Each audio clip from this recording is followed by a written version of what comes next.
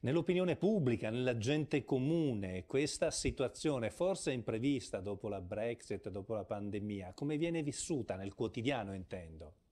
Sì, io quello che ti posso dire te la faccio magari un'analisi eh, spezzettata in, in, due, nel senso Sì. una da italiano che vive qui e una da inglese.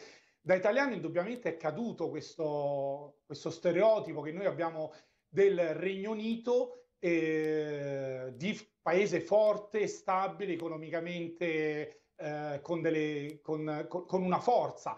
Però noi abbiamo parlato di crisi energetica, ti ho fatto l'esempio degli scioperi, delle manifestazioni Sì, esatto, come, protesta come no? di sabato, ma in realtà sabato c'è stato uno sciopero dei trasporti su rotaia che verrà ripetuto questo mercoledì e sabato prossimo. E sempre sabato c'è stato uno sciopero da parte della Royal Mail, che è una delle istituzioni storiche, eh, sarebbero le Le poste poste, nazionali. le miti- mitologiche poste inglesi, no? Quelle che Perfetto, i eh, recapitano anche in capo al Box. mondo e puntualmente una lettera, giusto? Perfetto, e quindi sapere che anche un'istituzione del genere ha scioperato perché ci sono difficoltà nel rinnovo dei contratti, eh, nella, nella situazione lavorativa delle persone che lavorano per la Royal Mail, per i trasporti su rotaia e in contemporanea tutto nella stessa giornata, eh, la protesta da parte delle persone, ecco, come dicevo, da italiano che vive qui mi è caduto, diciamo, il- l'immagine stereotipata che abbiamo del Regno Unito.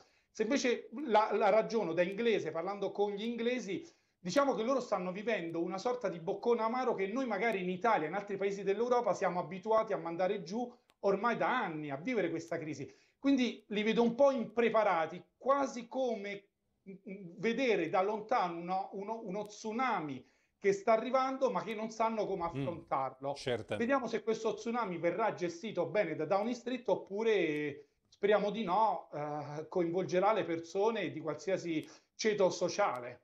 Grazie Alessandro, grazie come sempre Alessandro Allocca, veramente A te Luigi, grazie per l'ospitalità.